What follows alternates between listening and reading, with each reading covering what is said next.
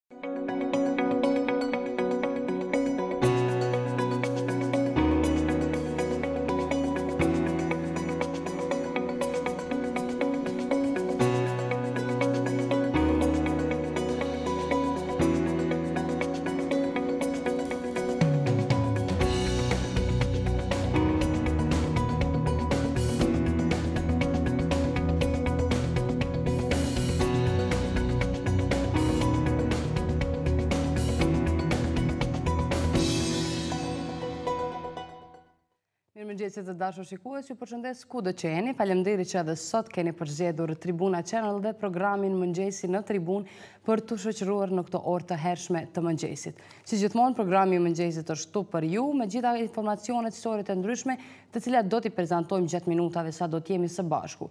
Unë ju rikujtoj edhe sot që faqja jonë zyrtare në Facebook, Me titull Mëngjesi në Tribunë vazhdon të jetë në dispozicionin tuaj. Aty përveçse mund t'i gjeni të gjitha materialet e përgaditura deri më tani, patjetër mund të vazhdoni dhe të na përcjellni sugjerimet dhe idetë tuaja për çfarëdo ngjarje madje edhe mysafiri që dëshironi të shihni në programin tonë. Edhe sot kemi storie interesante të përgaditura e tema të ndryshme që do të diskutojmë me mysafirët tanë në studio, e për më tepër do të mund të kuptoni Mësoj më shumë për gjendjen aktuale të parkut të qytetit të Prishtinës. Për më tepër, po ashtu do t'ju tregojmë më shumë për disa balerina të reja, punëtore si bleta dhe përplot entuziazëm.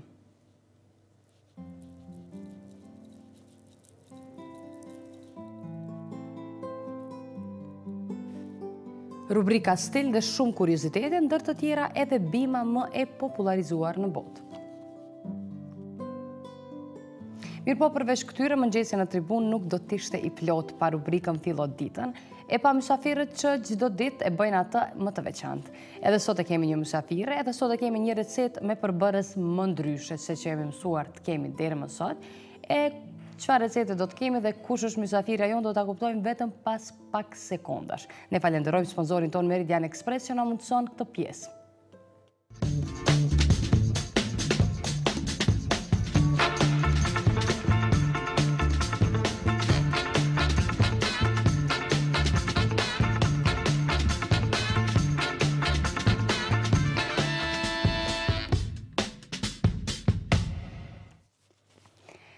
E u rikthyem në studio të dashur shikues shumë shpejt. Tani më jemi me mysafiren tonë. Është Blerina Livoreka, arsimtare e artit figurativ dhe instruktore e yogas, dy profesione, dy kombinime mjaft interesante. Blerina, mirëmëngjesi dhe mirë se erdhe në programin tonë. Mirëmëngjesi Anita, mirë se ju gjeta.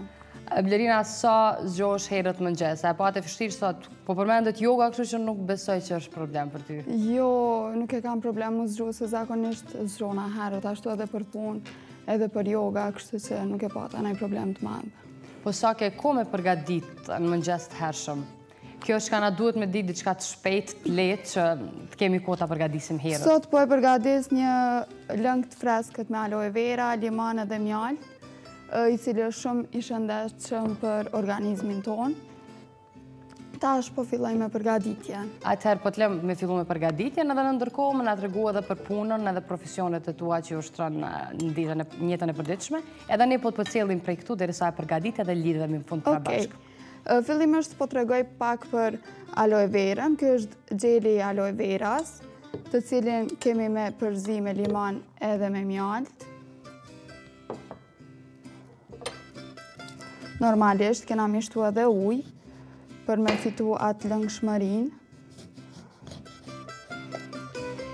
Gjitha duhet të jenë të freskëta. E marrim Fillimisht, domethënë gjethen e aloe verës edhe e qërojna. Pastaj, i qesim këto në blender. Po munona mos me përdor fjalë të anglishtarizuara, se po du me përdor ma shumë shqip. Po, s'po m'i nam ju nganjëherë. Unë punoj si arsimtare e artit figurativ, punoj në Kaçanik, prej edhe ku e kam vendlindjen. Në Prishtinë punoj si instruktore e jogas, ma shumë punoj me individualë, Edhe ashtu mundohem me u kujdes edhe për ushqimin, me pas një balans, me i pas gjitha balancume dhe një ushqim të shëndetshëm.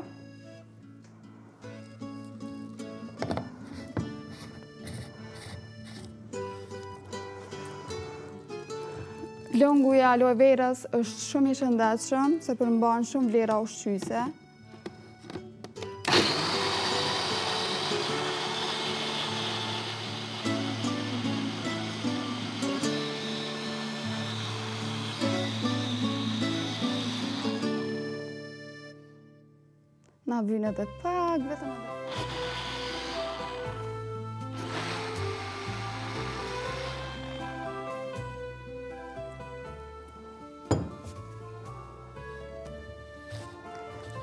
Ka vitaminën B, B12, C, vitamin E, acid folik, domethënë ka vlera shumë të mira ushqyse që e ndihmojnë organizmin e njeriut, me qenë sa ma i shëndetshëm, sa ma i freskët, sidomos tash për verës.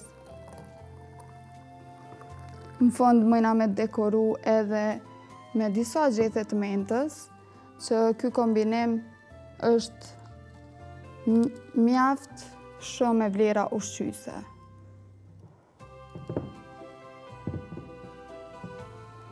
Lerina, faleminderit shumë uh, për këtë recetë.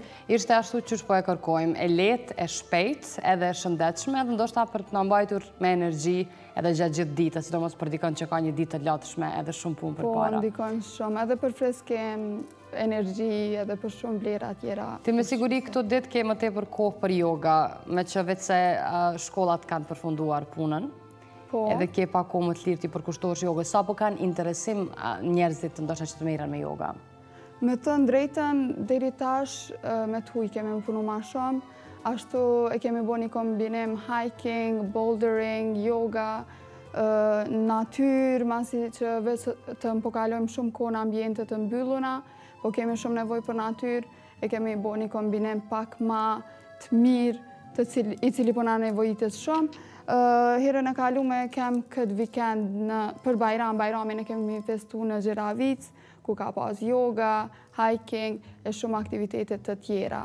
Atëherë, Blerina, ne të presim ndonjë ditë tjetër të vish edhe këtu në studio, edhe të bisedojmë për projektet e radhës me yoga dhe këto udhëtime interesante, ndërsa të ndajmë eksperiencat me shikuesit tanë edhe të na jepni edhe neve ide se ku ta kalojmë vikendin në ambiente të hapura, pikërisht e ke shumë mirë, po kalojmë shumë kohë në ambiente të mbyllura dhe këtë, për këtë kemi nevojë. Faleminderit shumë. Faleminderit që ishe me ne, Blerina, edhe shumë suksese me punën tënde.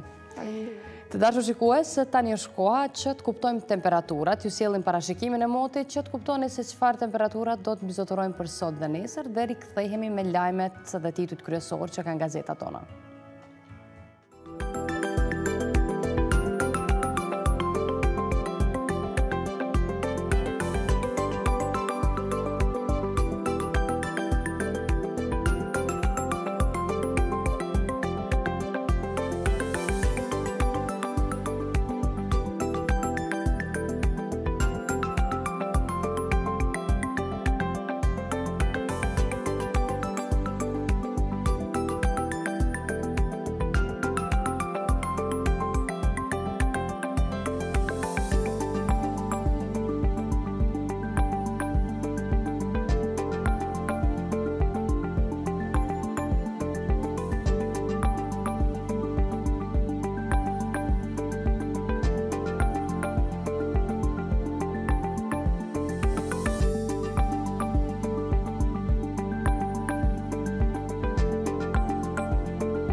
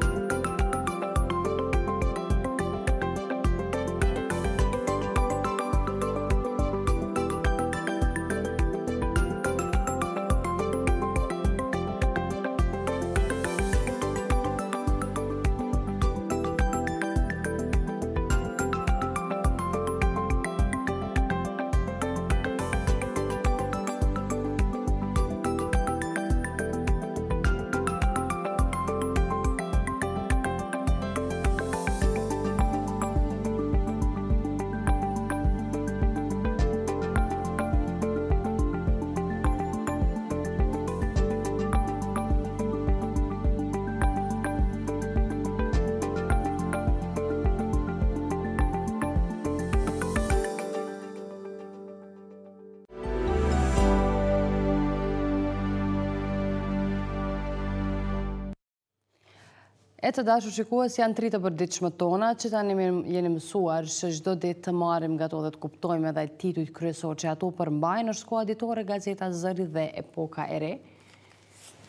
E fillojmë me Kohën Ditore, sot ditë e enjte, 29 qershor 2017, mund të lexoni Vetëvendosje insiston në nisjen e negociatave për qeverinë. LDK-ja do t'i nisë konsultat për themelimin e qeverisë pasi të dështojë PAN-i. Edhe pse nuk janë shpallur rezultatet zyrtare të zgjedhjeve të njëmbëdhjetë qershorit, Lëvizja Vetëvendosje subjekt i vetëm që po insiston në nisjen e negociatave për formimin e qeverisë, duke kërkuar takim me kryetarin e LDK-së Isa Mustafa, por në LDK kanë thënë se për themelimin e institucioneve do të mund të flasin pasi koalicioni PDK-AAK-Nisma të dështojë herën e parë. Në anën tjetër, a zyrtarë të PDK-së nuk planifikojnë takime zyrtare me asnjë palë para marrjes së mandatit formal për formimin e qeverisë. E është ky lajm të cilën të plotë e gjeni në faqen e tretë. Me thirrjen Kosova është zemra e Serbisë, qindra serbë e kanë nisur dhe e kanë përmbyllur ceremoninë fetare të festimit të ditës së Shën Vidit të njohur si Vidovdan në Gazimestan. Në fjalimet e tyre, prijësit fetarë të Serbisë kanë thënë deklarata kundër shtetit të Kosovës. Kosova mund të bëhet objekt i sulmeve terroriste, thotë lajmi të cilin gjeni në Kohën Ditore në faqen 2. E në po të njëjtën faqe mund të lexoni Shumica e viktimave të trafikimit seksual në Kosovë janë vajza. Ministri austriak paralajmëron Ballkani po islamizohet, është ky lajm të cilin e gjeni të plotë në faqen 7. E në faqen 34, Prishtina është gati për të shkruar historinë në Suedi. Gjukata speciale prej javës së ardhshme, e gatshme të nisë me aktakuzat e para. Pasi rregullorja e procedurës dhe e provave të gjykatës speciale vlerësohet se është në përputhje me kushtetutën e Kosovës. Është lajmi që vijon i plotë në faqen 3.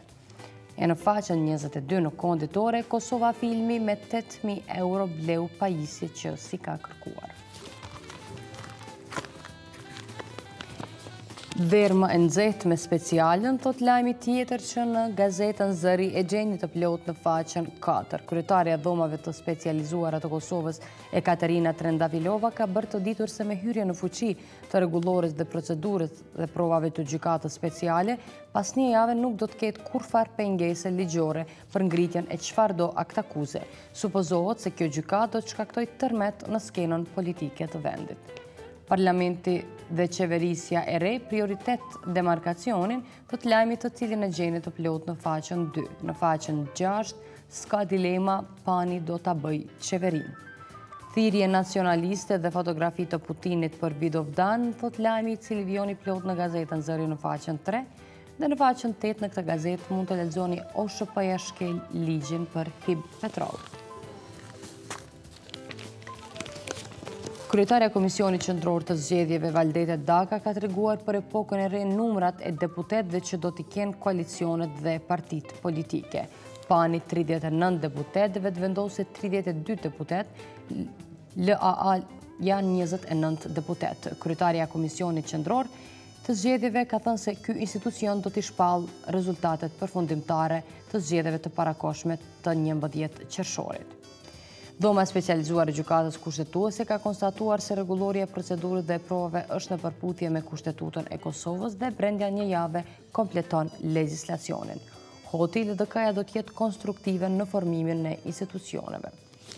Të dashur shikues, këto ishin vetëm disa nga titujt kryesorë që mundohemi në mënyrë të përmbledhur t'ju përcjellim çdo ditë nga këto tri të përditshme tona, por është edhe gazetatribuna.com faqja online ku ju mund të informoheni me lajmet më të reja dhe lajmet më të fundit nga vendi dhe bota. E tani flasim për parkun e kryeqytetit, në mes të qytetit ku ka freski, gjelbërim e lodra për fëmijët. Mjafton të keni kohë dhe vullnet për të dalë deri aty. Hapësirë për të gjithë, mirëpo përmes stories së përgatitur e mësojmë më tepër se për çka ka nevojë ky park.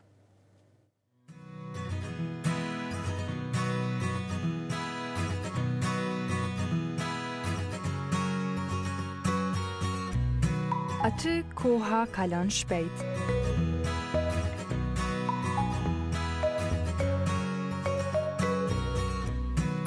Bukuri që i ka falur natyra Lisat e gjatë që prekin qiellin dhe lulet të cilat rikthejnë vëmendjen në tokë, por edhe kujdesin ndaj tyre, janë pejsazhet më të bukura të kryeqendrës lotzhurë.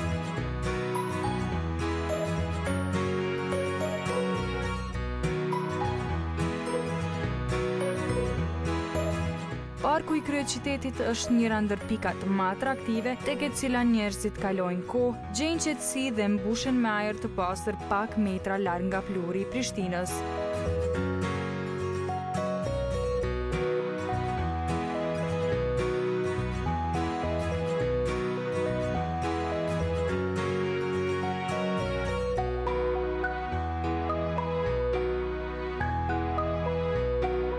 Fëmijët janë ata që e gëzojnë më së shumti. Lodrat, Edhe pse tashmë të vjetruara janë pjesa më e dashur për ta, ata vijnë shpesh duke kaluar kohë të bukura me shoqëri.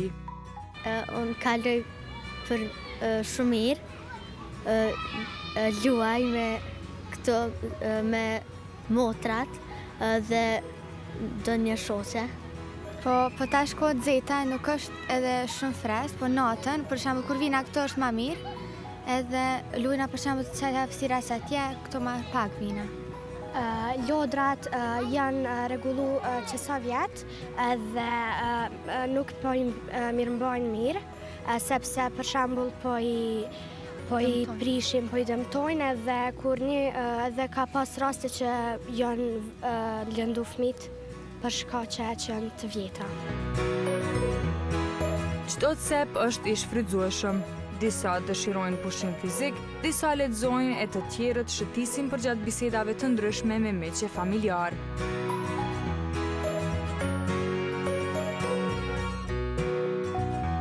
Parku duket pastër. Edhe njerëzit si duket janë vetëdijesuar tashmë dhe kanë më shumë kujdes ndaj ambientit. Por, rolin kryesor e kanë punëtorët e hortikulturës, të cilët pastrojnë çdo cep me shumë kujdes. Shfrytëzohet prej qytetarëve, ka shumë që dalin, vizitojnë, ka të rinj, ka të moshëm, mirë mbahet, mirë, edhe janë të kujdesshëm, kanë fillu me u kujdes mirë qytetarë, nuk ka, probleme nuk ka, mirë kalojnë. Ne e kemi detyrë gjelbrimin, lodrat ato e ka pas një kompani private që i ka rregullu para disa vite, ato e kanë pas mirëmbajtjen. Në këtë park janë edhe disa hapësira ku njerëzit mund të shërbehen me pije apo të tjera. Mosha nuk përbën problem. Nën hijet e lisave, larg vapës së padurueshme, kohë të gjatë kalojnë edhe të moshuarit. Ata janë vizitues të rregullt të parkut dhe më të kujdesshmit nga të gjithë. Kafeja u shijon edhe më shumë kur janë në shoqërinë e miqve. Parku është shumë i mirë, ambienti është i pastër, ka gjelbërim, Çdo mëngjes vijmë na me kolegët e punës prej orës 11 deri në 2 rrimë. Ajri është i pastër, ka këto të klienta për në ka njerëz shumë ka. Çdo mëngjes vijmë, ka kantat që qesim bërllogun, pastërti ka, nuk ka si përpara, ka gjelbërim dhe ka pastërti. Po, jo vedisu, po, po. Edhe për, po, edhe për pleq ka, domethënë për të vjetër, pensionera, edhe për fmi, edhe për moshë mesatare. Kështu që është shumë ambient i bukur.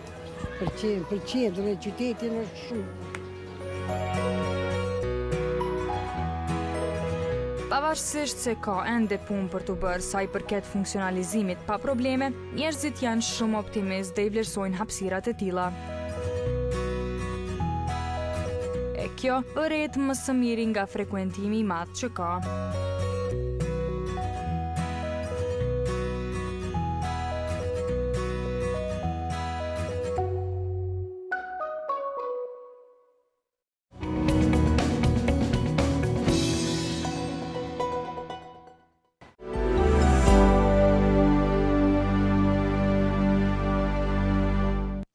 të dashur shikues u rikthyem në studio, tani jemi me mysafirin tonë të parë për sot, është Selam Hajrizi, njohës i marrëdhënieve ndërkombëtare, me të cilin do të kemi mundësi që të diskutojmë tema të ndryshme, mjaft aktuale që po diskutohen jo vetëm në Kosovë, po në mbarë botën. Selam, mirëmëngjesi dhe mirë se erdhe në studion tonë. Mirëmëngjesi, Anita, mirë se ju gjej. Selam, jemi dëshmitarë të një situate mjaft të tendosur, edhe kur po flasim për skenën ndërkombëtare. Marrëdhëniet e acaruara mes shteteve, në anën tjetër lufta dhe konfliktet e shumta. E si njohës shumë i mirë i fushës së marrëdhënieve ndërkombëtare, si e shihni në përgjithësi gjendjen aktuale? ndërkombëtare. Të jetë të jetë komplikuese, të jetë të jetë e vështirë. Negociatat diplomatike janë shumë shumë të vështira mes mes vendeve. Zgjedhja e Donald Trump, president i SHBA-ve ka shoku gjithë botën dhe nuk është nuk është pritur. Një një gjë të tillë shpresat e Evropës janë ardhë me zgjedhjen e presidentit Macron në, në Francë. Anglia ka probleme me Brexitin edhe luftën kundër terrorizmit. Ballkani po ashtu flitej që është një situatë e vështirë, sidomos te ne në Kosovë. Po e shohim që gjendja është pak a shumë tensionuse, por disi shpresojmë që do të ketë marrëdhanie më të mira diplomatike sesa... Po pikërisht meqë e përmende Brexitin, është diskutu shumë edhe është përmendu që edhe do të ketë pasoja të ndryshme. Apo cilat janë ato pasoja konkrete, ndoshta që tani veç po iu shihet efekti? me po- rastin e Brexit. Po pasojat janë shumë, për shembull, kur është bo Brexit, edhe askush nuk e, as nuk e ka prit një gjë të tillë në kontekstin aktual. Edhe vetë njerëzit pro Brexit dikur kanë qenë të sinqertë dhe iu kanë thonë elektoratit të tyre që ne ju kemi gënjy, se nuk do të ndo, nuk do të mbajmë asnjë premtim Që i kemi marrë edhe tejet e çuditshme në mënyrën se si ka ndodhë tek anglezët. Por ekonominë angleze është tejet, tejet katastrofike, tejet e pakuptimtë. Tereza May, kryeministrja britanike, mundohet që të jetë edhe konservatore, por edhe socialdemokrate me evropian, sepse e din rëndësinë e shtetit të saj, në futje apo në izolimin e saj diplomatik me Evropën. Nuk është e mundur, nuk është e kjartë. Bashkimi Evropian dhe Brukseli mundohen të gjejnë një udhë udhëkryq pozitiv, ku ekonomia britanike të mos preket në Evropë dhe eksportet, importet që bohen ekonomikisht t'ia dalin pozitivisht edhe të kenë të kenë një rrugë tejkaluese. Po pikërisht sa i përket pasojave të Brexitit, a mendon që një ndër to është edhe që i ka hapur rrugë edhe vendeve të tjera për të dalë nga Bashkimi Evropian, meqenëse ka pasur zëra që edhe Italia ndoshta pritet të marrë një veprim të tillë, siç është rasti me Britaninë e Madhe? Po, meqenëse Italia ka një Pozitë gjeografike më të ndryshme, o një politikë ekonomike më të ndryshme nuk është nuk është pjesë e shumë organizatave, siç është përveçse me qenë pjesë e BE-së, nuk ka vendime diplomatike tejet të randa, siç janë gjë pesëshi apo gjë treshi, ku Franca, Anglia, Gjermania, po e udhëheqin Europën në karakter diplomatik ndërkombëtar, vendet tjera që mund të dalin nuk, për njëherë nuk e kanë fokus qëndrimin e tyre, Europa mbetet me 28, duke i bashkëngjit Kroacinë, kurse shumë herë në Britani të Madhe është folur, me sa e di unë me shumë ekonomistë, miq të mi, më thoshin që për shembull Skocia, kryeministrja e Skocisë, po kërkon me bë një referendum personal që që të mbetet në Bashkimin Evropian, ajo është e lidhur me Britaninë e Madhe, po ata kërkojnë që eventualisht të, të mbesin në Bashkimin Evropian së bashku me së bashku me gjithë elektoratin e saj, nuk nuk duan të kenë Brexit. Po nëse vazhdon një lëvizje e tillë, po flasim tendencën e shteteve të ndryshme për t'u larguar nga BE-ja, si e shihni ju si analist themi kësaj fushe, të ardhmen e bashkimit evropian?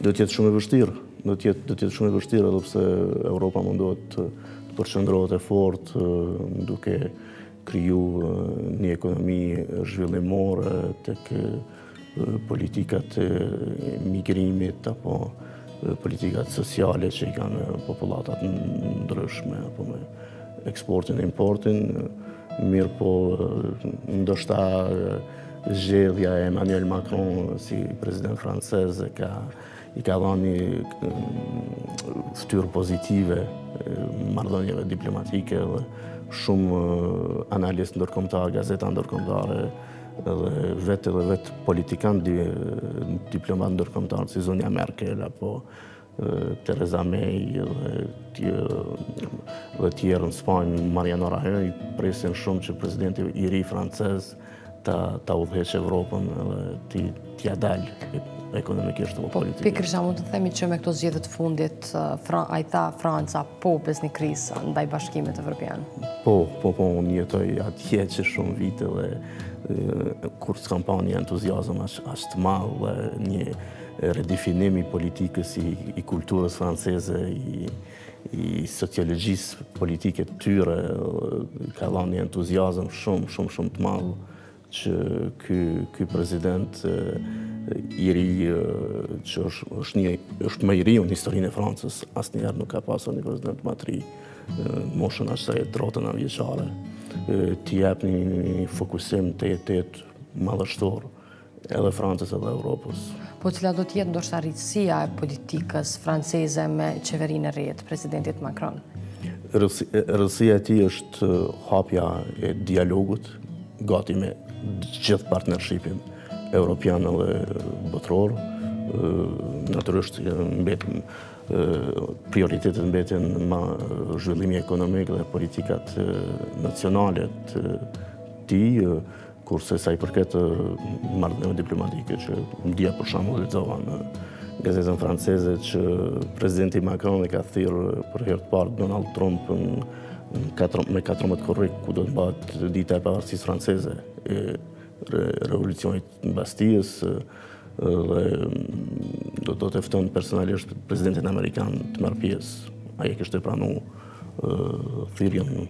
Zakonisht këto, zakonisht në Francë, në çdo 14 korrik vijnë shtete të ndryshme nga Afrika, po nga Europa Qendrore, po që kësaj here do të jetë prezent presidenti amerikan për t'i bashkuar marrëdhëniet ndoshta diplomatike.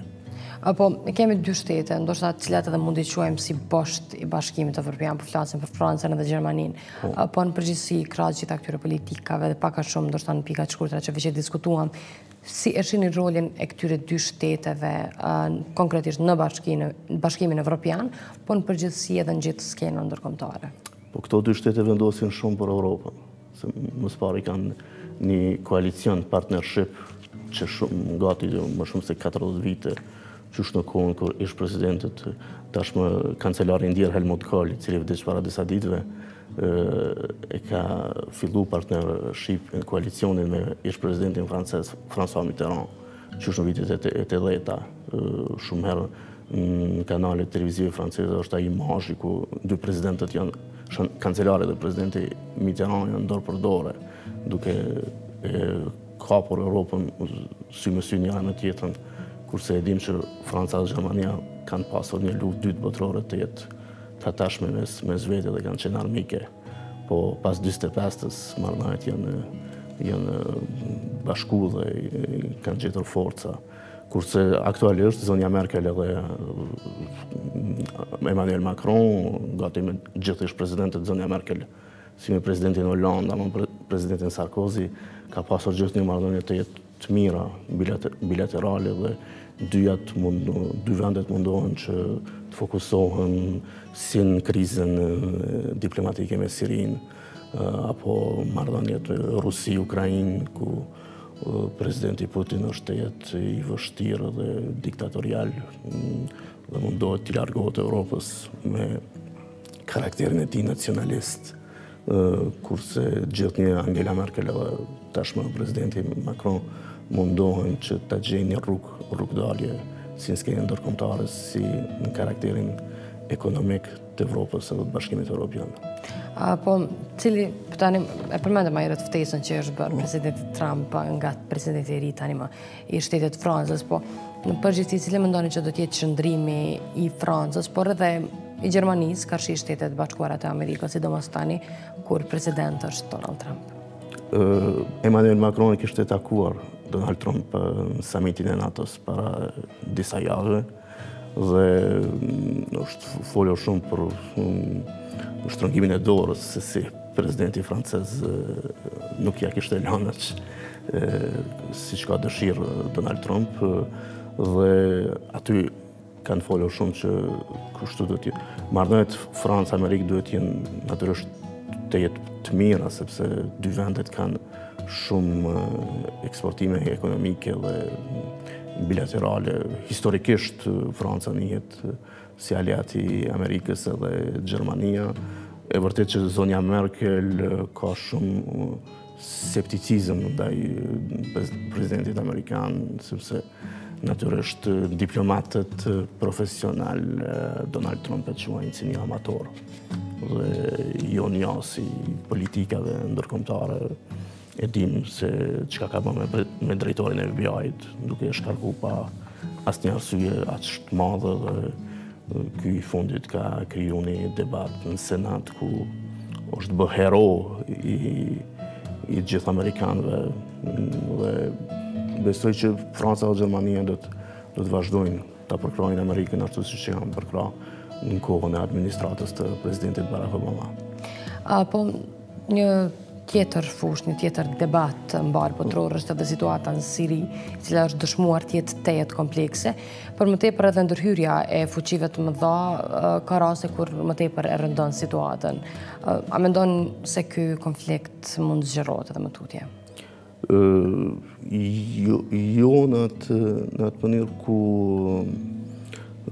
ku shtetet shtetet arabe janë duke, duke izolu Sirinë në në një konflikt personal dhe fatkeq që prej 2011 duke shkaktu regjimi i Bashar al-Assad duke shkaktu me mijëra, mijëra civilë, ku edhe kanë nxitë organizatat terroriste, siç janë në shteti islamik, apo tjera, dhe nganjëherë edhe nuk dihet kush me kënd po lufton, a janë rebelë sirianë, apo Bashar al-Assad a është përkrahës i terroristëve, ku, apo, siç thotë ai, që është duke i përndjekë, Aq shumë sa që terrorizmi ka prek edhe Europën, Parisin 2015,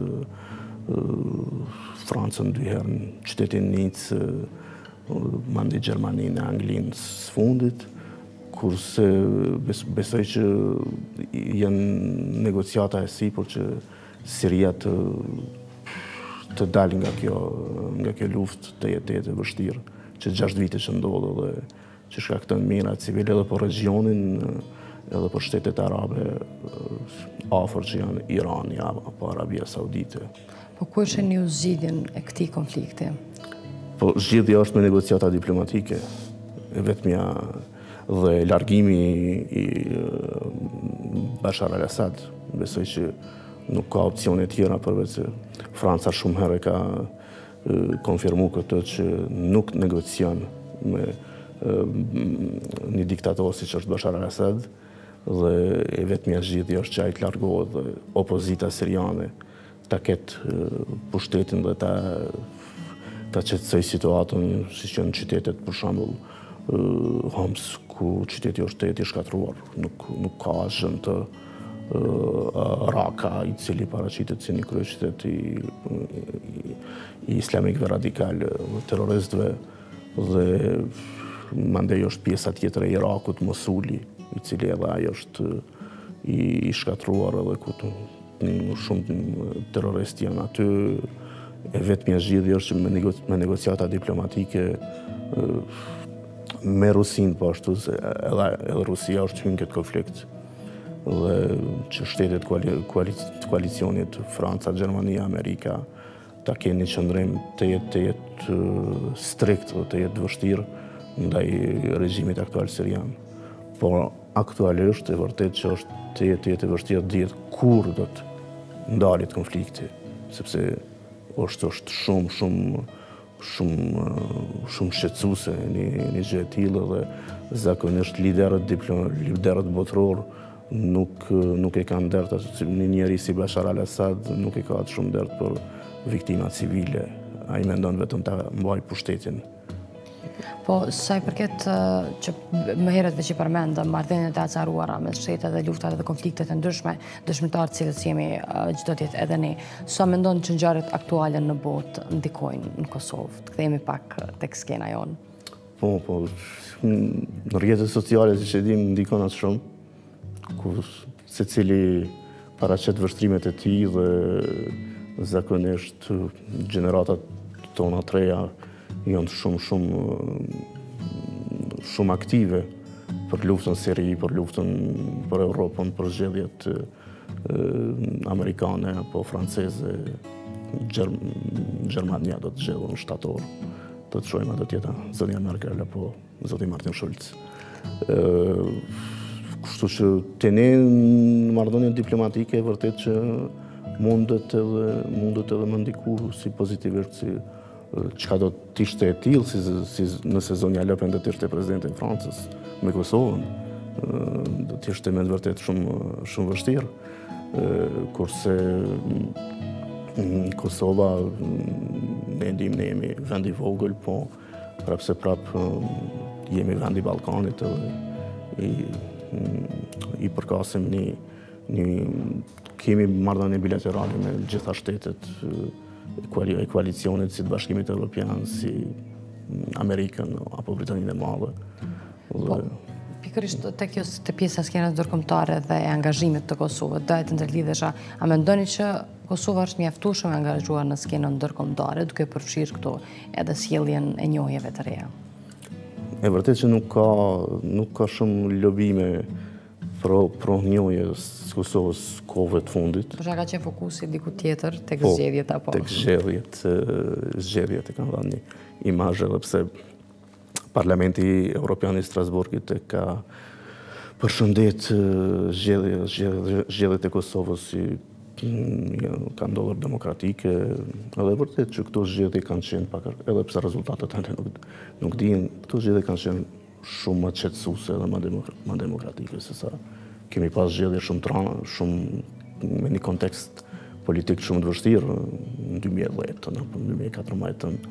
Dhe mm, besoj që e vërtet marrëdhëniet ndërkombëtare të Kosovës janë shumë të vështira aktualisht, por Mundemi me e arrit, mu, ndoshta një administratë e re, ni, fokus i ri, siç don edhe shumica e popullit Kosovës, mundet me u përqëndru nëse kemi politikë socialdemokrata. Po ku mendon që qëndron problemi kryesor i ngecjes së njohjeve, sidomos kur flasim për uh, shtetet e lindjes edhe pjesën e Afrikës? Po, unë mendoj që imazhi i Kosovës është i degraduar. Imazhi i Kosovës në botë ende nuk është uh, aq pozitiv. Për shembull aktualisht uh, në Kosovë gjenden 15 studentë të Institutit Francez të Gazetarisë. Ata kanë vendosë që një vit të vijnë në Kosovë dhe të bëjnë hulumtime për fundin e studimeve të tyre në gazetarisë dhe me disa të tyre prej tyre kam folë, shojnë janë shumë septik para se me, më kanë thonë që janë shumë septik para se me ardh në Kosovë. Po tash po ju duket interesant, shumë mirë që disa ditë që janë.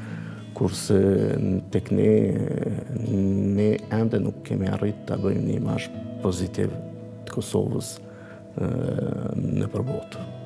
Dhe duhet ende punë, duhet ende ende eksport ndoshta edhe sociologjik ose gjeografik që shumë student tonë të shkojnë dhe të studiojnë nëpër Europë, ta Të jenë ambasador të lobimeve të tona nëpër botë, edhe të krijon një imazh pozitiv të Kosovës. Po, jemi në minutat e fundit dhe në këtë pjesë të fundit të bisedës, po e diskutojmë edhe një temë tjetër që është shumë aktuale në vendin tonë dhe tanimë po flitet gjithandej për të, pra fjala për gjykatën speciale është paralajmërua që shumë shpejt mos themi brenda një jave. Pritet po. që ta kompletojë gjithë legislacionin përkatës edhe të fillojë me punën. Me këtë rast, kur pritet të kemi aktakuzat e para edhe, si mendon që ato do të priten në vend? Po ato kanë, tash shoqëria jonë është e divizuar në këtë aspekt. E kemi një pjesë të elektoratit e cila dëshiron ta ketë gjykatën speciale edhe vetë. Ajo është votuar në parlamentin e Kosovës dhe imazhin e vërtetë të Kosovës Më shumë e degradon se sa se sa që i jep një imazh pozitiv politikës. Mandej problemi i gjykatave speciale ne e kemi pa edhe tribunalin e Hagës qe shumë vite. Tribunali i Hagës është konstruktu në mënyrën që në atë të drejtën speciale për krime lufte në ish Jugosllavi. Mm, Suksesi i saj ka qenë natyrisht në dy mijë e njëtën, kur zonja Del Ponte i arriti qëllimin me pru Millosheviqin në tribunal, po mandej filloj duke u degradu vite me vite. Kemi pas edhe personalitete tona të akuzuara atje, dhe tash për gjykatën speciale aktuale, Ndoshta edhe më mirë ekspertët juridikë mund të flasin se unë, por do të shiqojmë.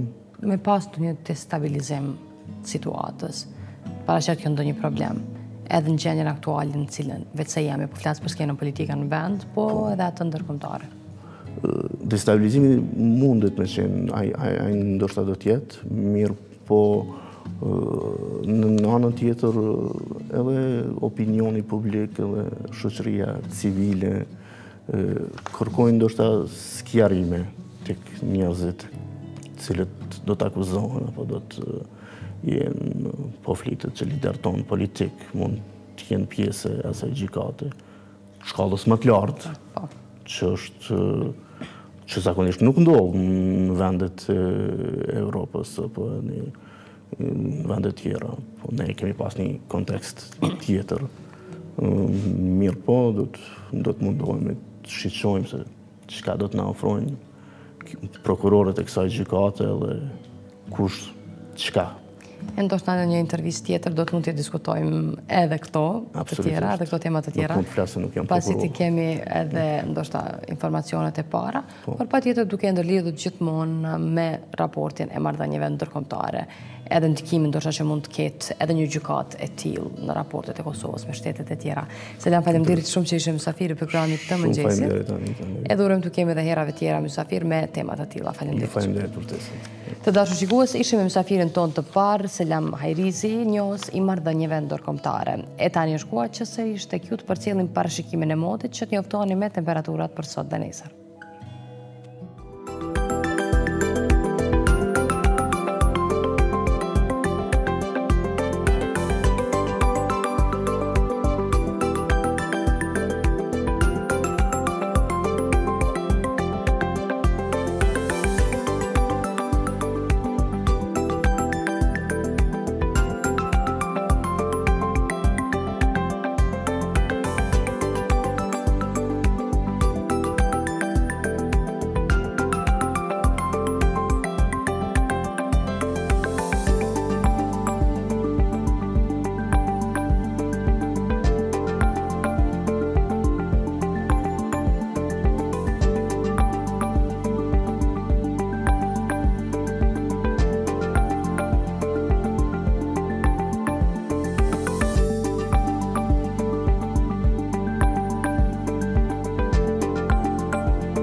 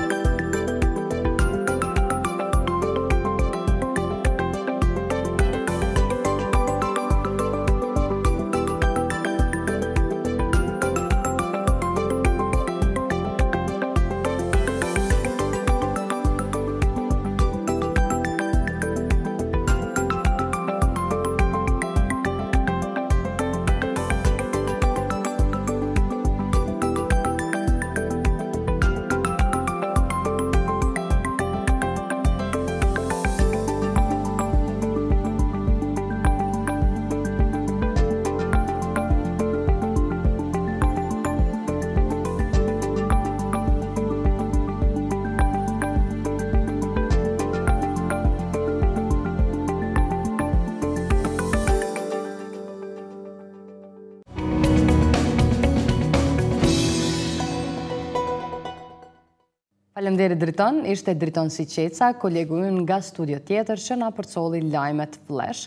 Unë tanimë këtu afër vetes e kam edhe lëngun e përgatitur sot në rubrikën Fillo Ditën. Një lëng shumë i shëndetshëm edhe shumë i shijshëm, e gjitha recetat, ju rikujtoj edhe emisionet e plota, mund t'i gjeni në kanalin tonë zyrtar në Youtube duke kërkuar mëngjesi në tribunë. E tani kalojmë tek rubrika për sot. Ditë e enjte koha për rubrikën stil, e sjellim trendin e fundit të këpucëve për meshkuj, e ndjekim bashkë storien.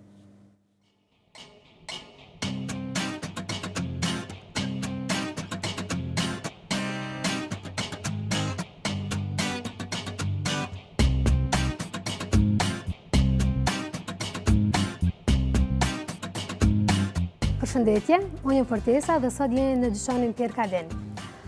Pierre Cardin ma shumë posedon veshje klasike, mirëpo ka të përziera dhe klasike dhe sportive, ose casual, varet klienti kah cila më shumë anën. Sot do të fokusohemi te këpucët, mirëpo para se t'ia filloj me këpucët, ma herët do të doja t'ia shpjegoj një histori t'shkurtër të Pierre Cardinit. Domethënë ka lindur në vitin 1922 në Venecia, pastaj është shpërngul në Francë, domethënë në vitin 1945, ku dhe ka hyrë në industrinë e modës dhe ka filluar të bashkëpunojë me një nga kompanitë më të mëdha në Francë, siç është Dior. Më vonë, ai hoqi dorë dhe filloi të punojë vetëm me një stil që në atë kohë është quajtur A. Orkorn.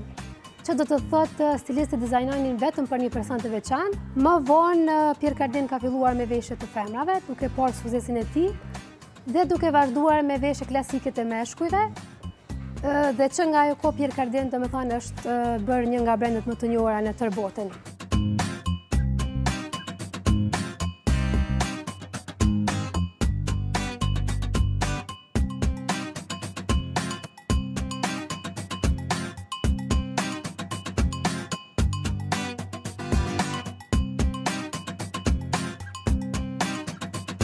Siç e cekëm më parë, ne sot do të fokusohemi më shumë te këndi i këpucëve. Sivjet këpucët janë ardhë më shumë me dizajne. Ne do të fokusohemi te ajo klasikja që gjithmonë veshet për mbrëmje gala, për ndonjë darsëm, apo për ndonjë eveniment shoqëror siç janë mbrëmjet e maturës. Do filloj me këtë, klasikja me shkëlqim. Gjithmonë, kjo është më elegantja nga të gjitha. Propozohet më shumë për raste, siç thamë, diçka ma të veçanta, që të dallojnë nga këpucët tjera. Sivjet këpucët tjera klasike janë ardhë të gjitha me dizajne, siç mund të dallojnë edhe vetë, Duke ikur nga klasikja që ka qenë gjithmonë ajo klasike pa asgjë, sivjet janë ardhë me disa dizajne. Gjitha modelet kanë dizajne të ndryshme.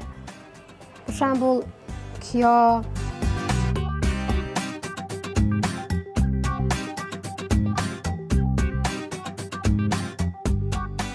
Kjo këpucë klasike, domethënë është ajo që gjithmonë është dëshiruar dhe përfaqëson klasiken.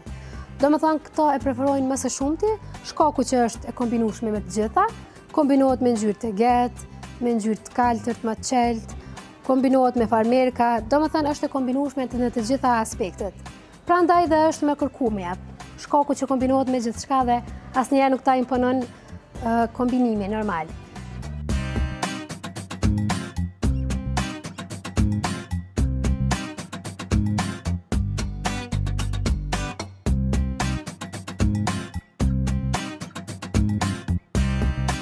Këtë model e kemi modelin më të kërkuar në dyqanin tonë.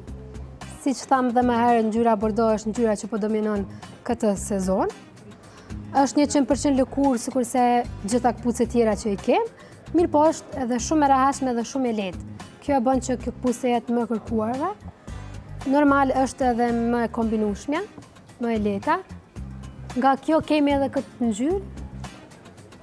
Që sivjet edhe kjo ngjyrë është ndër ngjyrat që janë në trendi.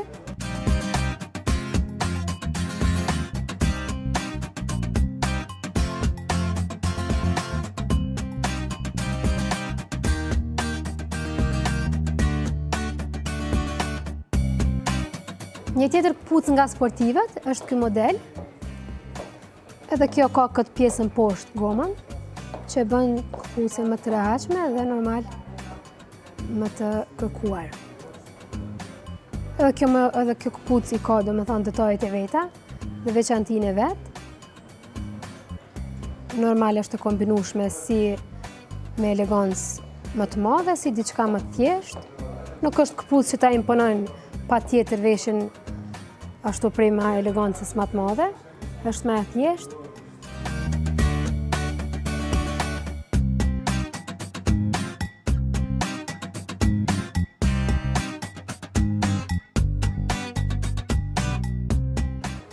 Në veshjet e meshkujve, domethënë klasike, ose çfarëdo që të jenë, gjithmonë këpucat kombinohen me rryp. Asnjëherë nuk është, jo që nuk është e lejushme, sepse lejohet edhe të mos jenë ngjyra e njëjtë, Mirëpo, në rast se don të dukesh normal më bukur, gjithmonë kombinohet rrypi me këpucat. Këtu kemi një këpucë klasiko-sportive nëse mund ta quaj, sepse është pak më e thjeshtë. Kjo kombinohet edhe me rrip klasik edhe me rrip sportiv. Nuk është se kombinon shumë rripin. Ndërsa këtu e kemi rripin klasik. Këto dyja janë kombinim perfekt që mund të përshtaten me ngjyrë teget, ose të zezë, ose çfarëdo që mund t'i shtoni veshjes suaj.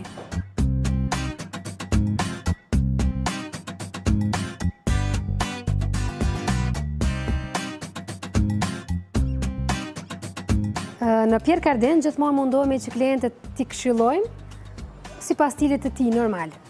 Ne kemi rripa sportiv dhe klasik. Këtu kemi një këpucë sportive. Normal që këpuca sportive gjithmonë kombinohet me rrip sportiv. Nuk mundemi këpucën sportive ta kombinojmë me rrip klasik. Kemi zgjedhje të mjaftueshme, po ne zgjodhëm ngjyrën bordo pasi që thamë është një nga ngjyrat më trendi të kësaj vere, të kësaj stine.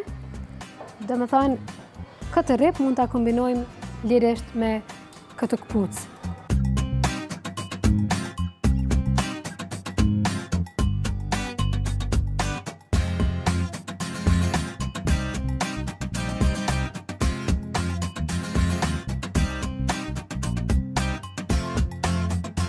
sa i përket kësaj rubrike, këto ishin gjitha ato që ne mund t'jua shpjegonim për ju.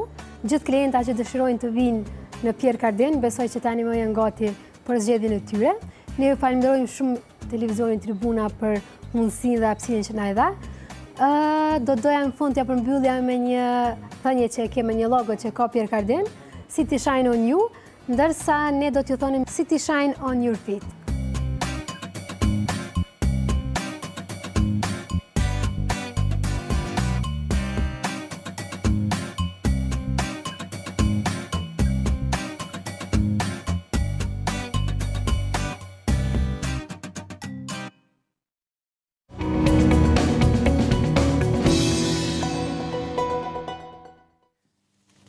E tani radha është shikuese e shikues që të kalojmë tek reklamat. Falënderojmë sponsorin tonë Meridian Express që Për një kohë të gjatë është tanimë pjesë e jona dhe juve ju falënderojmë që po vazhdoni dhe po qëndroni me programin tonë. Është vetëm pjesa e fillimit të mëngjesit të Tribunës. Kemi akoma intervista dhe storie të përgatitura për ju në kuadër të këtij programi. Qëndroni me ne.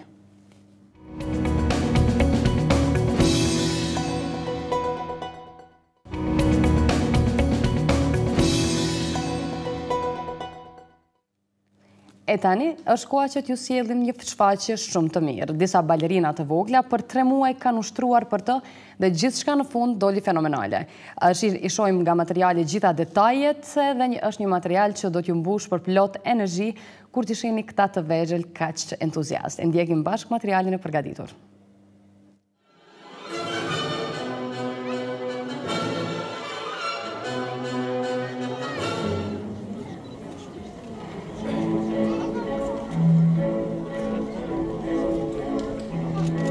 Rreth 3 muaj përgatitje për këtë shfaqje që po konsiderohet madhështore.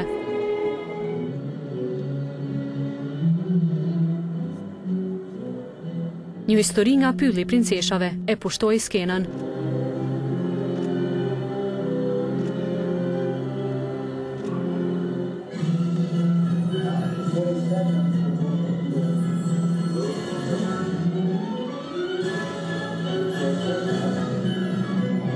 Të gjitha princeshat dhe të gjitha personazhet e përrallave ishin mbledhur në amfiteatrin Faruk Begolli në Universitetin AAB. Kjo shfaqje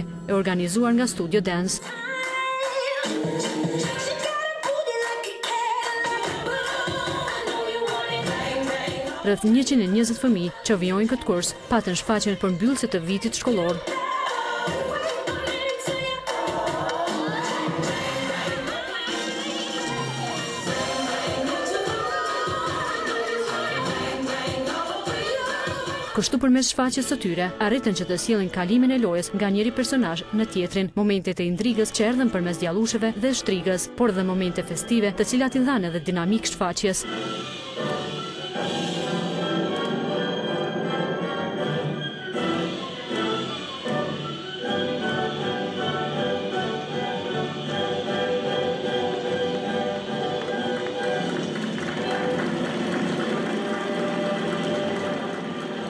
Kjo shfaqje ishte kryesisht me motive verore, e ndarë në dy pjesë, pjesa e parë ishte balet recital, ndërsa pjesa e dytë ishte shfaqje nga Liqeni i Mjellmave, të luajtura nga fëmijët. Kjo koreografi, e mësuar nga mësueset Behije Murtezi, dhe Vjollca Bllugiqi.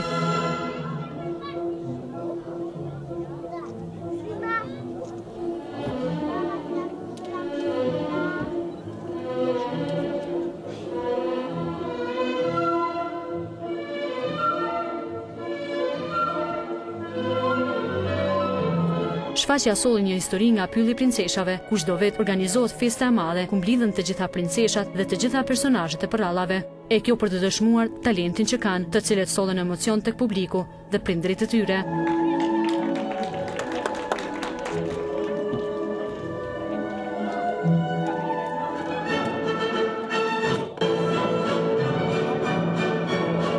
Një shfaqje përrallë pati disa pjesë premierë që i sollën te publiku, e që njëkohësisht habitën edhe publikun, ndërsa për fëmijët ishte sikur përshinin një shfaqje joreale.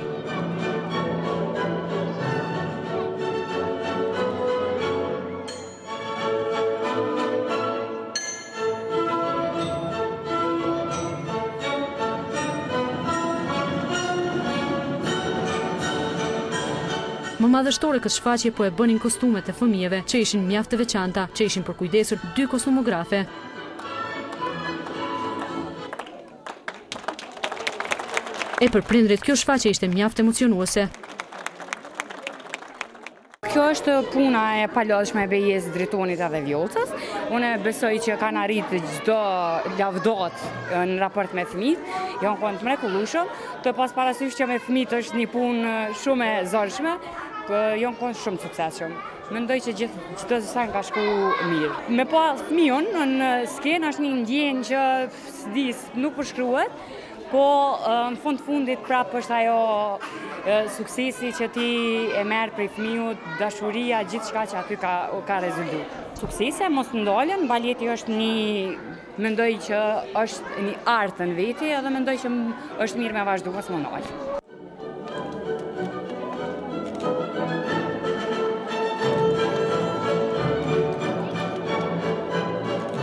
Kishte dhe balerina të vogla, që sa kishin filluar, të merren me balet, por e rëndësishme mbetet ngjitja e tyre në skenë, së bashkë me balerinat që ushtrojnë prej vitesh.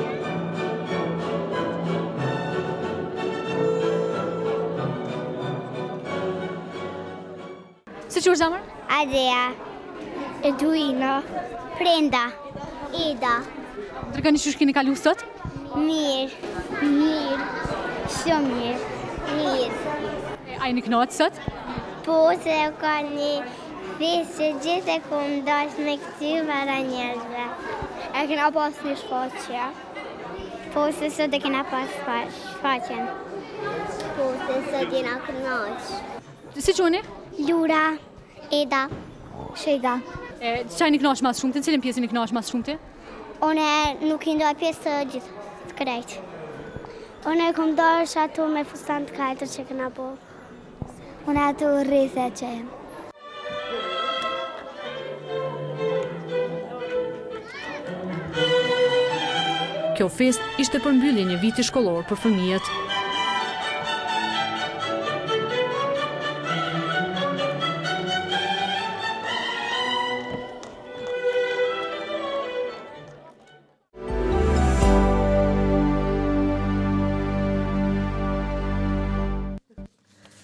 U kthyem në studio pas kësaj historie mjaft të bukur dhe të këndshme besoj që pozitiviteti që u soll te ne në studio të jetë përcjellur edhe në shtëpitë tuaja.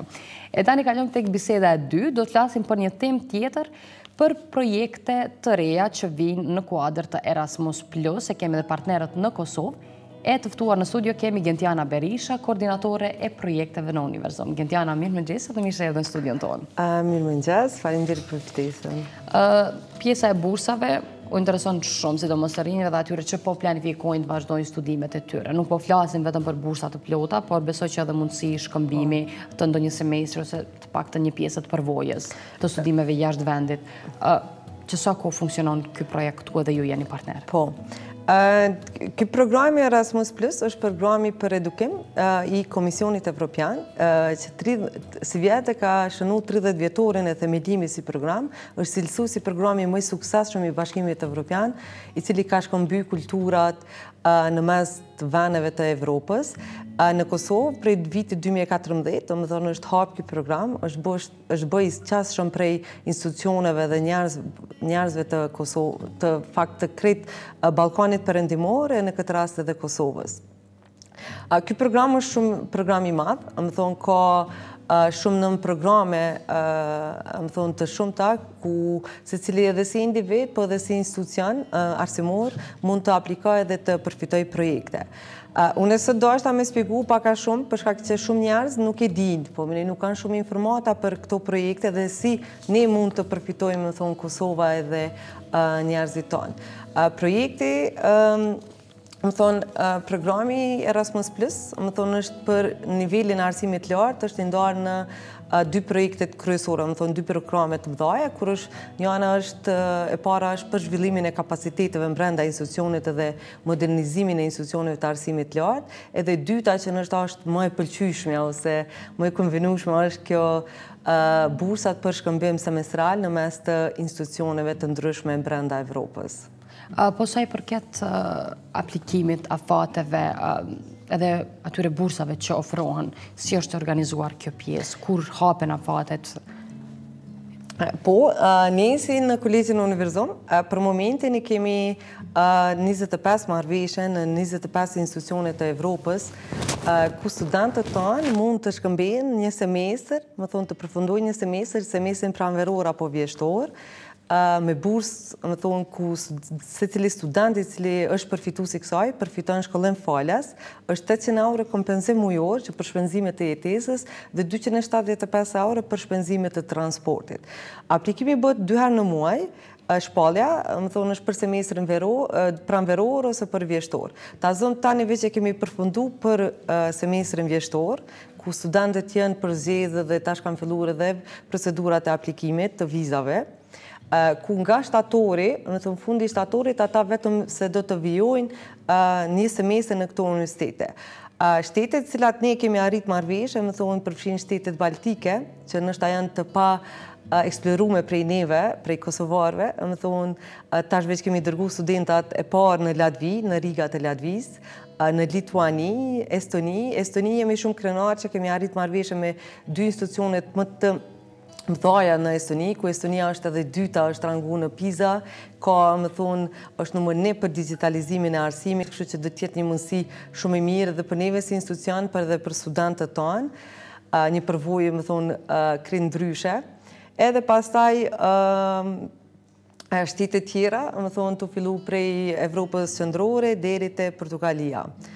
Unë dje jam kthy veç nga Lisbona, ku kemi arrit një marrëveshje me Universitetin Nova të Lisbonës, është Universiteti numër 1 në Portugali dhe Universiteti i 16 në botë i rankum prej Financial Times, ku studentët edhe stafi mund të shkojnë, domethënë tani, nga viti tjetër do të studiojnë një semestër pa paguar asgjë, të gjitha të mbuluara me bursë. Besoj që kjo ideja e krejt programit të Erasmusit është përveç shkëmbimit akademik, me thonë për m'i mësu përvojat dhe praktikat, se si zhvillohen atje, është normalisht edhe shkëmbimi kulturor kjo vlerave evropiane që e promovon edhe bashkimi evropian. Po sa i përket numrit të bursave të ofruara, sa janë aktualisht që ofrohen, edhe ndoshta sa studentë po arrihet të përkrahen përmes po. këtij programi? Marrëveshjet veç, domethonë, vit, çdo muaj veç po rriten, së fundi kemi nënshkru me Universitetin e Palermos, në Itali dhe në Portugali, domethonë, këtë muaj në Lisbon. Deri tani, domethonë, janë 27 institucione që gjithsej numri 110 bursa për studentët tonë, që në vlerën monetare kishin m'u përkthy në 475.000 euro, të cilat do t'i përfitojnë studentët kosovarë, domethonë Kosova.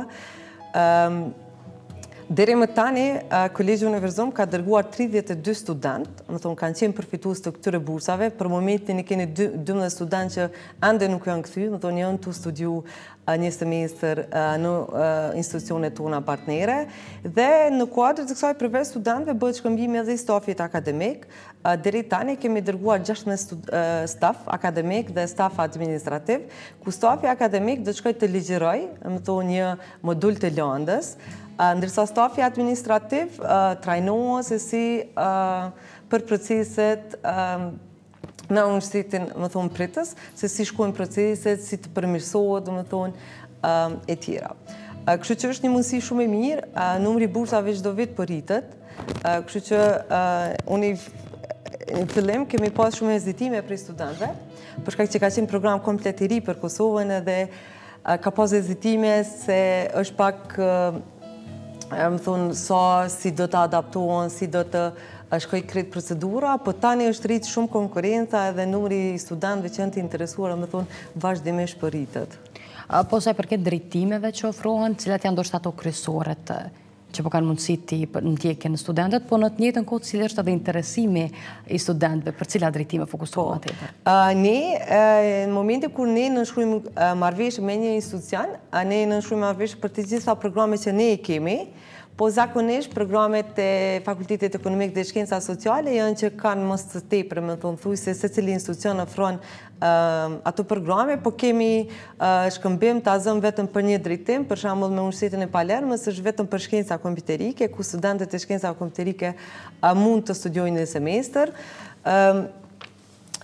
Pastaj me thënë thuajse të gjitha është edhe për nivelin master kjo, edhe për studentat e nivelit master, edhe për studentat e nivelit bachelor. Po sa i përket? Po Gjermania po. këtë harrova me cek se gjatë gjithë anketave që unë kam bo me studentët, po dhe me studentët tjerë, me thënë jashtë kolegjit Universum, me nxënësit të shkollave të mesme, Gjermania ka qenë destinacioni më i preferum prej kosovarëve, me thënë para Anglisë, para Estonisë apo Finlandës. Po cilat kanë qenë komentet, pse pikërisht Gjermania? Gjermania se është ajo lidhja familjare që ne e kemi me Gjermaninë, Edhe gjithqysh me thënë çdo herë pyetja kryesore ka qenë a është Gjermania ose kur unë kam bërë një hulumtim në cilin shtet dëshironi ju të studioni, Gjermania ka qenë numër një para Italisë, para gjitha shteteve tjera. Po, ndoshta sa i përket punës së studentëve që bëhet atje dhe ndoshta sukseseve që arrijnë, sa po arrini ju të monitoroni meqenëse janë përfitues të bursave të ofruara nga ju me partnerët tuaj. Po. Sa po arrini të monitoroni rrjedhën ndoshta të studimeve dhe sukseseve atje, po për më tepër ndoshta edhe sukseseve që ata i kanë kur të vinë në Kosovë, dhe të kontribuojnë po. ndoshta me gjithë ato njohuri që i kanë mësuar gjatë studimeve. Po, shpallja e bursave kërkon një farë faze dhe një disa procedura, për shkak që ne mbajmë përgjegjësi për secilin student që ne dërgojmë për studime. Fillimisht studenti duhet të ketë njohuri të gjuhës angleze, për shkak që mësimet, provimet, gjithçka do të vijojë në gjuhën angleze. Provimet që i përfundon atje lëndët, me thënë studenti, ato transferohen pastaj në kolegjin Universum, me thënë studenti nuk i nënshtrohet provimeve të njëjta kur të kthehet. Për shkak të është bërë me thënë një marrëveshje për transferimin e lëndëve ose kredive në këtë rast.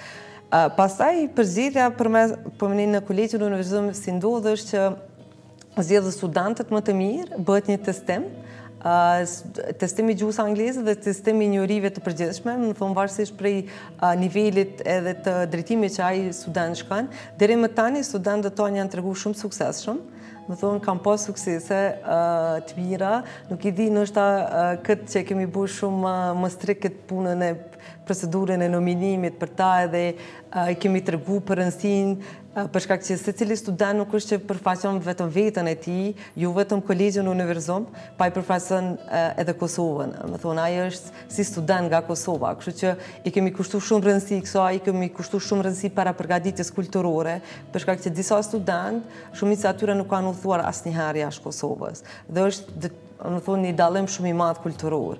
Ku ne, zakonisht, me thënë para se studentët të nisen, mbajmë edhe një trajnim të tregojmë për kulturën, Cilat janë rregullat, si të sillen, domethënë, mënyrë që ata të jenë ambasadorë sa më të mirë të institucionit tonë, të Kolegjit Universum, si dhe të Kosovës, domethënë, në fund të fundit. Ka pas shumë reagime të mira prej studentëve, prej partnerëve tonë deri më tani, po ashtu studentët, domethënë, tash kanë fillu veç ata që janë kthy, Kanë fillu domethënë është një qasje shumë ma ndryshe, janë më mendjehapur domethënë, kështu që tash nuk po mundemi me i nalë, po dojnë prapë me studiu, secili student, brenda studimeve në Kolegjin Universum, ka të drejtë, domethënë, bazë të rregullave të Erasmusit, tri herë të studiojë, domethënë, tre semestra, të jetë përfitues i bursës. Po, sa i përket drejtimeve dhe semestrave që ofrohen, cilat janë kriteret që duhet plotësuar për të qenë përfitues i bursës, qoftë për studime të plota, qoftë edhe për programet e shkëmbimit, apo exchange programs? Fillimisht, për të qenë përfitues i këtyre bursave, domethënë Kolegjin Universum, duhet të jetë student i Kolegjit Universum, duhet të paktën të përfundojë një semestër në Kolegjin Universum, disa universitete kërkojnë që një vit, domethënë të jetë student në universitetin dërgues, Duhet të ketë nota, domethënë, suksese të larta, sidomos në lëndët që janë, domethënë, kruciale për atë program. Ta zëmë në lëndën, për shembull, nëse studenti ka drejtimi banka, financa apo diçka, domethënë, të jetë nota të mira në këto lëndë, ose për shembull shkenca kompjuterike që kërkohet në programim, domethënë, të jetë më i mirë. Testi i gjuhës angleze, Është shumë e rëndësishme, po tjetër çka doshta me theksu që është Bashkimi Evropian, sidomos rregullat e Erasmusit është kërkojnë shumë, kanë kritere shumë të ashpra sa i përket adaptimi social, secili student ne duhet të garantojmë që ai nuk do të shkaktojë probleme në universitetin, në institucionet që ne dërgojmë, të mos involvohet në politikë, në aktivitete ekstremiste radikale, uh, domethënë, duhet të nënshkruajmë edhe ne duhet të garantojmë që studenti nuk do të promovojë frymën raciste, domethënë, kur të shkojë atje. Është shumë me rëndësi që ndoshta duket shumë e E parëndësishme për neve, domethënë, por shumë me rëndësi, Bashkimi Evropian i kushton shumë, shumë, shumë rëndësi. Edhe tash duhet normalisht, pak është që është edhe tek azili që duhet, domethënë, secili duhet të institucion, duhet të garantojmë që studenti pas përfundimit të semestrit ai kthehet. Për shkak që konkurenca është rritë brenda institucionit tonë tek studentët, domethënë kemi apliku edhe teste të ndryshme, për me bo përzgjedhjen e studentëve, por gjithsesi, për shkak që numri është shumë i madh, thuajse secili student në Kolegjin Univerzum që ka dëshirë të studiojë, do t'i jepet mundësia të studiojë të paktën një herë, domethënë, kështu që është një mundësi jetësore për studentët. Po ndërsa këto janë në kuadër të këtyre projekteve shumë të mira që po mundësohen për studentët, cilat janë planet edhe projektet që veçse i keni në kuadër të vitit 2017, ndoshta ato edhe vijuese që pritet? Po, Kolegji Univerzum është edhe kështu cilësohet si institucioni më ndërkombëtar në Kosovë, Ne në vitin 2006 kemi dërguar studentë në Japoni dhe në Angli, edhe ne do të vazhdojmë për ndërkombëtarizimin e arsimit të Kosovës, Planet tona janë që të zgjerohen, ku secili student t'i jepet mundësia të paktën një semestër të studiojë në universitetet e Evropës. Kështu që ne për momentin domethënë thuajse në secilin shtet të Evropës kemi partnerë ndërkombëtarë përmes dërgimit të studentëve të cilët do të jenë ambasadorë të Kosovës edhe kështu do ta përmirësojmë edhe imazhin e Kosovës. Ne vazhdimisht jemi një ekip që zyra ndërkombëtare e projekteve ndërkombëtare jemi një ekip Të cilët jemi tu punu shumë, domethënë me vullnet shumë të madh, në mënyrë që të rrisim, domethënë, partneritetin edhe më shumë. Ne presim që vitin tjetër, domethënë, mbi 110 studentë, t'i dërgojmë në këto institucione, që do të jetë goxha shumë sfidë në menaxhimin e tyre. Dashta me theksu që përveç që ne i dërgojmë, edhe studentë nga Evropa vijnë tek ne, të studiojnë në Kosovë. Këtë semestër kemi dy studentë që do të vijnë nga Turqia, që do të studiojnë një semestër në Kolegjin Univerzum. Po ashtu edhe stafi akademik, deri më tani kemi pasur profesorë nga Slovenia, që kanë ardhë në kuadër të programit Erasmus. Dhe të hënën do të jenë dy profesorë nga Turqia që do të vijnë të ligjërojnë për studentët tanë Domethënë, ky shkëmbimi, domethënë, përmes këtij programi, ne shkëmbejmë, domethënë, qoftë stafi edhe studentët për ligjërim edhe studim jashtë vendit. është një mundësi e jashtëzakonshme, është prej vitit 2014, që është hap për Kosovën, është një shans të cilën duhet ta shfrytëzojmë, edhe që ne si kolegj, domethënë, Kolegji Univerzum, ka bërë hapa, domethënë, shumë të mëdhenj në këtë drejtim, Kështu që shpresojmë që sa ma shumë bursa do t'jenë, domethënë, kjo është mirë edhe për, jo vetëm për neve si institucion, për krejt Kosovën në përgjithësi. Giljana, faleminderit shumë që ishe misafire jona, edhe presim edhe projekte të tilla që të kemi sa më shumë edhe sa më shumë mundësi për të rinjtë dhe studentët që dëshirojnë të studiojnë dhe të marrin ndoshta eksperiencat e vendeve më të zhvilluara, po. por ato të njëjta t'i implementojnë në vendin tonë. Faleminderit shumë. Të dashur shikues, tani kalojmë tek kurioziteti, si gjithmonë sjellim diçka të veçantë. Kësaj radhe do të flasim për xhenxhefilin. Ka shije të veçantë, nuk pëlqehet nga të gjithë kjo shije, mirëpo në shumë vende dhe në shumë kultura njihet si ilaç. Çka është, si rritet, në çka ndodha, ka efekte anësore dhe shumë çka rreth tij e mësoni në vazhdim përmes materialit të përgatitur.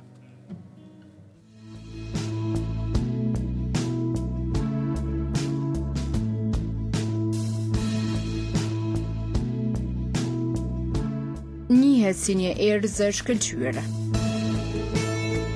e çdo ditë më shumë bën pjesë në dietën e secilit njeri.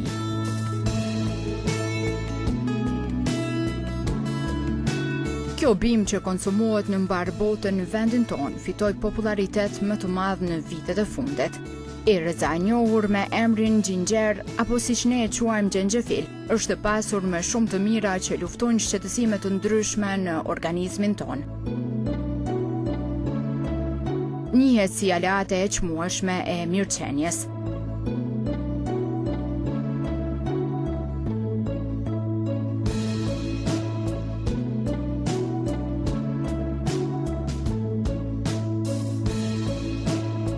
E tani xhenxhefili ka dëshmuar se është shumë i dobishëm edhe për përdorime kozmetike.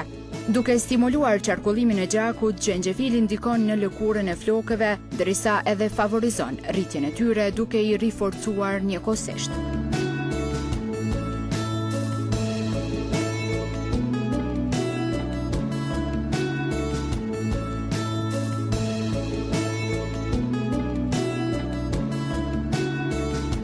Të mirat e xhenxhefilit mund të merren duke ngrënë rrënjët e tyre përgjatë çdo dite, si të freskëta, ashtu edhe të gatuara në avull. Kështu, mund t'i shtoni në produkte të ndryshme, pjata ose pije, në shtrydhëse në momentin kur mund të përzieni ujë me limon.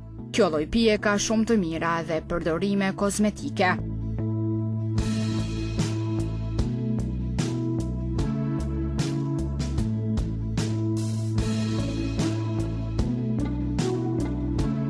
Duke e shtuar në produkte të ndryshme ose duke krijuar një maskë në shtëpi me xhenxhefil dhe kamomil, flokët tuaj mund të marrin refleksin që gjithmonë e keni dëshiruar.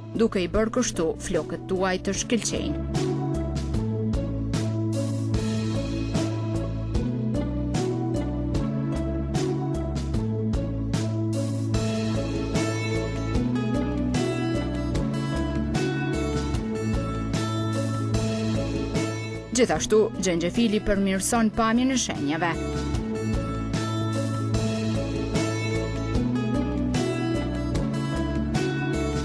Duke kaluar një fetë xhenxhefili të freskët mbi lëkurë një ose dy herë në ditë, aty ku mund të keni të pranishme shenja, Ju do të mund të përmirësoni pamjen e tyre pas një ose dy muajve.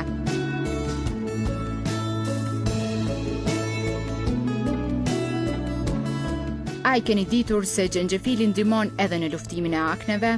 Falë të mirave të tij pastruese është edhe një aleat i mirë për lëkurën me probleme kryesisht të mbushur me akne.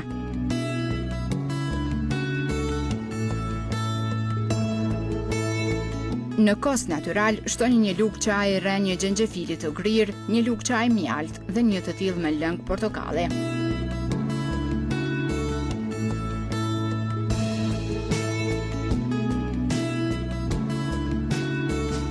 Me xhenxhefil mund edhe të shkëlqeni fytyrën.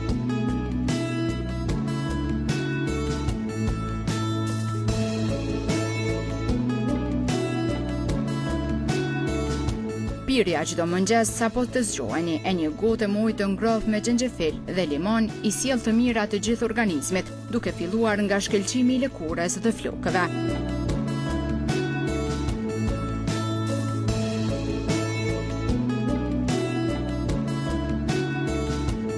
por shumë e dobishme për t'u aplikuar në lëkurën e fytyrës tuaj është edhe një maskë e thjeshtë e bërë nga duart tuaja, Për të njohur sa më mirë të mirat e xhenxhefilit në këtë drejtim.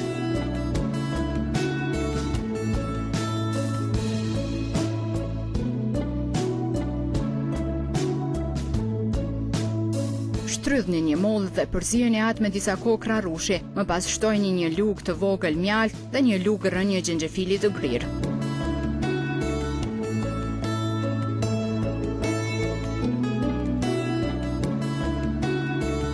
Mes të mirave të xhenxhefilit është edhe vlera e tij antioksidante.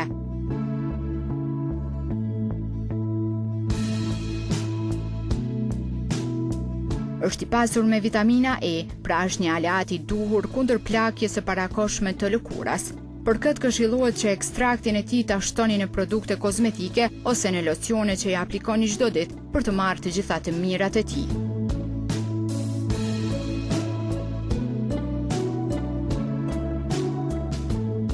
Kështu, janë të shumta përfitimet falë këtij produkti natyral, anti-inflamator, i cili ndihmon tretjen, lehtëson e parandalon ftohjen dhe gripin, Zvogëlon dhimbje të natyrave të ndryshme që nga cikli menstrual, artriti, por gjithashtu edhe në rast të dhimbjes së kokës.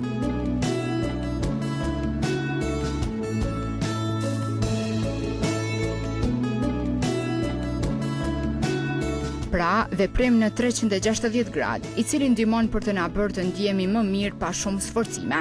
Mjafton një sasi e konsiderueshme xhenxhefili çdo ditë në sasi të një luge kafeje, dhe do të përjetoni jo vetëm shijen, por edhe përfitimet shëndetësore që ai fal.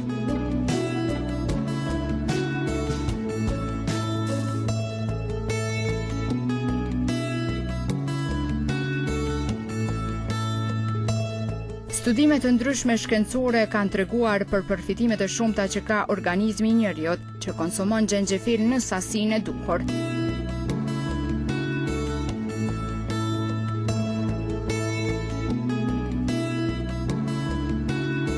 Në veçanti, kjo erëz përqendrohet në aftësinë e saj për të qetësuar të përzierat dhe ndihmon tretjen.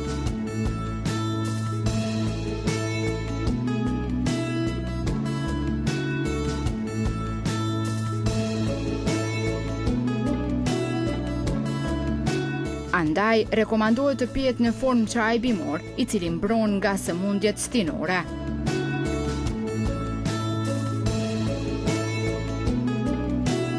Rekomandohet një sasi rrënjësh të freskëta më se 10 deri në 30 gram në ditë. Nuk është pak mbi të gjitha kur nuk jemi mësuar ende me të. Por dalëngadalë duke eksperimentuar me receta të ndryshme, nuk është më e vështirë të rrisësh dozën e konsumit.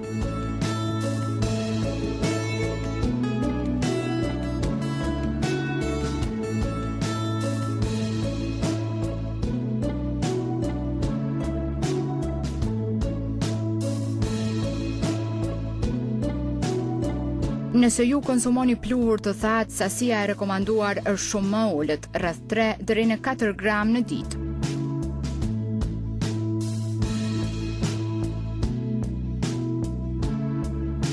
Mënyra më e lehtë për të konsumuar xhenxhefil është ajo në formë pluhuri pas gatimit mbi oriz, makarona, pjata të dyta ose perime. Por me xhenxhefil ju mund të përgatisni gjithashtu ëmbëlsira, pije freskuese, çaj bimor dhe një vaj të shkëlqyer.